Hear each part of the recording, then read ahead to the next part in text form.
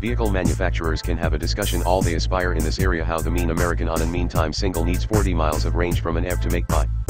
But, made known in the real planet, now and again you need to energy farther. Sometimes a ration farther, and EVs don't stomach the opportunity of making inroads into the American promote until they can take you here. And this is why the Chevy Bolt, a battery-powered EV intended Pro the Bolt Promote, packs as much range as it does. 238 miles worth, officially according to the EPA. That's more range than a Tesla Model S60, a car with the intention of expenditure ended $60,000. The Bolt. Chevy's not adage, apart from with the intention of it'll start not more than $37,500 and that's previous to the $7,500 federal discount.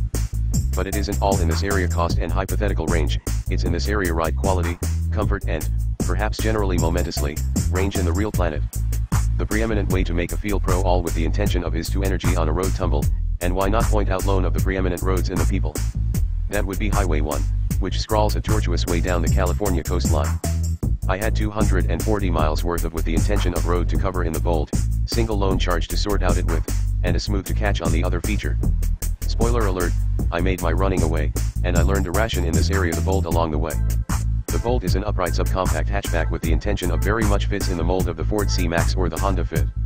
That is to say, a car with the intention of looks much larger on the inside than it does on the outside. This lonely is not particularly notable pro or present car, but it is still a morsel of a rarity pro and ev.